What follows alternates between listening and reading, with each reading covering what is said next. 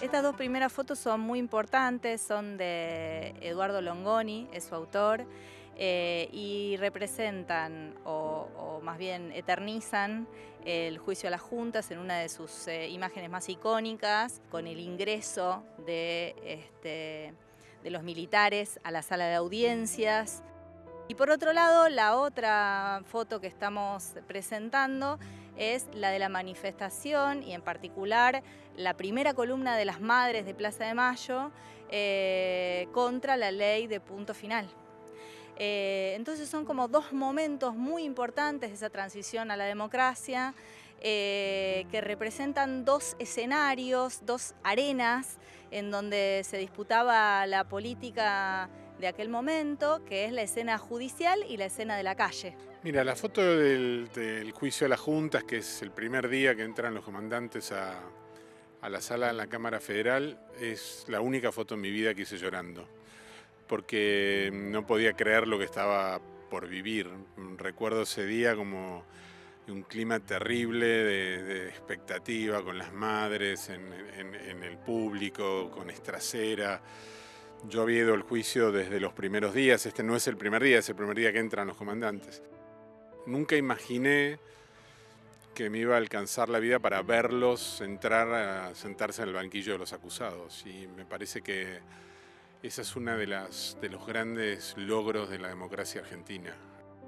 Entre todos los editores elegimos esta foto porque de alguna manera esta mirada destracera que se filtra entre, entre algunos de los cuerpos de los comandantes mirando a Videla es lo que termina de darle forma a los acusados y el acusador.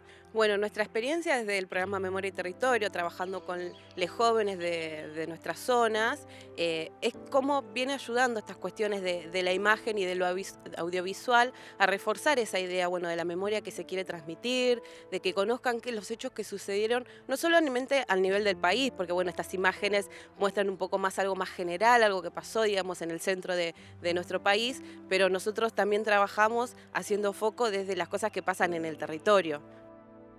La otra imagen es una imagen, de alguna manera yo tenía, yo empecé a trabajar en el 79 y cubrí las primeras marchas de las madres. Eh, era ya en esa época, esa foto del 86 ya, ya era una, especie de veterano ¿no? en la calle.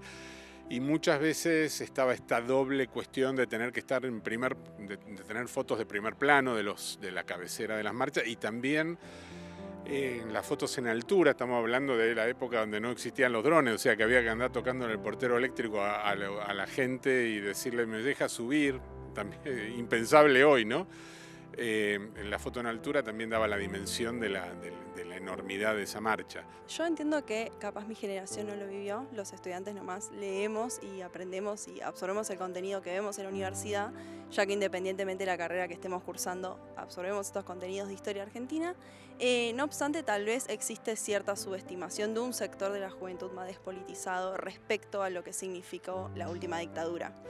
En este marco, para mí, la universidad es la que tiene que seguir dando la disputa ¿no? de sentidos, discutir, argumentar con esos jóvenes que capaz eh, subestiman o reivindican ciertos discursos eh, negacionistas y reaccionarios, eh, buscándole algo positivo a ese periodo de nuestra historia.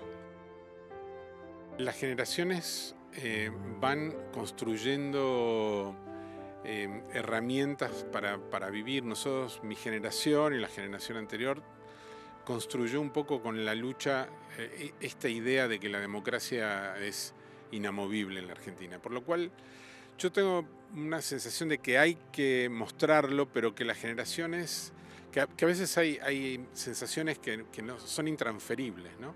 Y que los chicos, lo veo mi hija, que tiene 26 años, nacieron en democracia, lo que le están pidiendo es más a la democracia.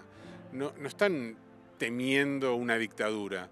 Salen a la calle, quieren trabajo, quieren tener plata en el bolsillo, no quieren que los, roben.